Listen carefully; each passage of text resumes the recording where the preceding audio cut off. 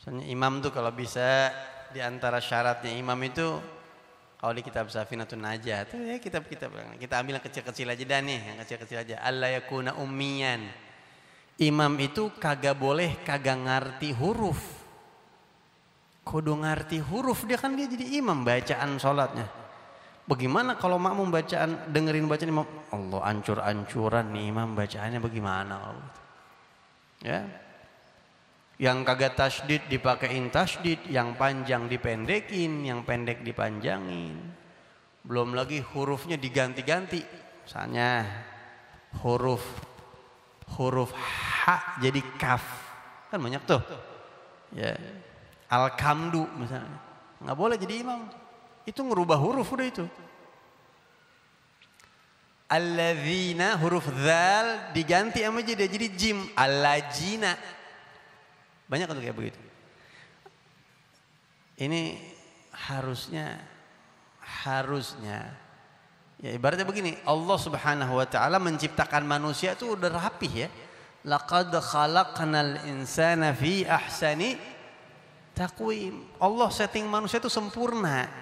Cuma kadang-kadang karena kita hidup di mana di mana jadi kebawa sama lingkungan.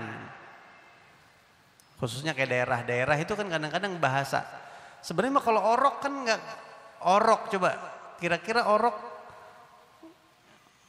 udah ngucap bahasa daerah tertentu kagak. Itu kan bagaimana ngelatihnya lingkungan. Lingkungan yang ngelatih dia, yang membentuk dia begitu. Nah, kewajiban umat Islam itu mereka harus belajar baca Al-Qur'an dengan fasih. Antum semua makanya nah pesen banget sama semuanya jamaah kita antum khususnya kita kan kalau ngaji begini makan kagak tahu murid hatu-hatu nih bacaannya bagaimana kan begitu ya. Cuma saya ngingetin aja. Kalau kayak santri tuh baru kita bisa cek satu-satu.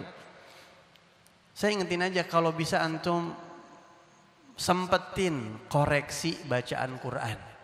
Sempetin.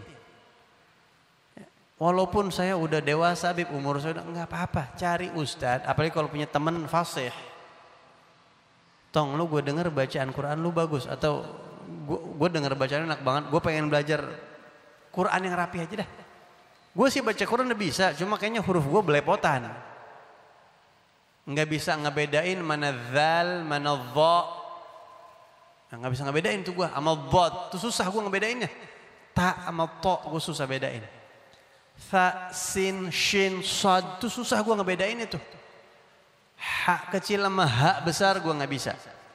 Lu ajarin gue dah antum nggak perlu setahun baca begitu sebentar. Nggak sampai 8 semester nggak. 8 semester 4 tahun berapa duit tuh habis? Buat dunia. Ini buat ente ke kuburan ngadep Allah. Nggak nyampe setahun. Apalagi kalau yang diajaknya ngerti. Ya dulu ambil Quran. Gue dengerin bacaan lo atau coba. Tasjidnya dirapin. Terus saja begitu